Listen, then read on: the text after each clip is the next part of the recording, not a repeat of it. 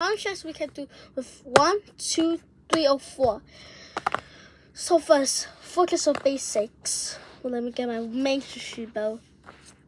I used this for a long time. So, wait, let me use my newest